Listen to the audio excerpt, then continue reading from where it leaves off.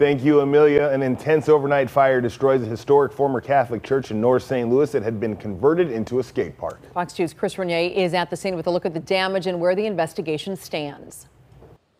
We are at Hogan and North Market here in the St. Louis Place neighborhood. The damage to the old St. Liborius church here is simply massive. St. Louis Fire Department crews spent hours overnight into this morning dousing the building with water. You can see water still flowing out of the front doors here. This building had been skate Liborius for years until this huge overnight fire just left it in ruins. Bommarito, Automotive Group Skyfox, over the scene here earlier this morning. From the air, you can really see the damage that the fire left behind. Crews getting the call around 1045 last night, the fire quickly growing to four alarms. St. Louis Fire Chief Dennis Jenkerson saying the fire started in the old church rectory and went from there.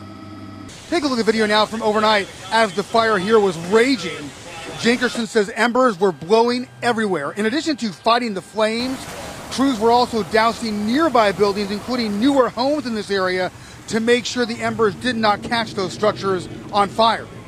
Crews were able to prevent the fire from spreading to other nearby buildings, but Jenkerson says the embers were such a problem that they caught a vacant home on fire two blocks away from here. Crews responded there to put out that fire. We talked earlier with Josh Hay. He's one of the owners of this building. It's a devastating loss to everyone who's been involved with Skate Liborius. Um, there's, I mean, there's a group, a core group of ever-changing people, and this is this has been thousands of hours, thousands of dollars that's that's lost. But there's also the community impact. This is a place that inspires we were inside the skate park here for a story last year. We're told there was one person inside of the rectory and two people inside of the church when the fire here started. Three others were at a homeless shelter next door. Fortunately, everyone got out okay and no injuries are being reported.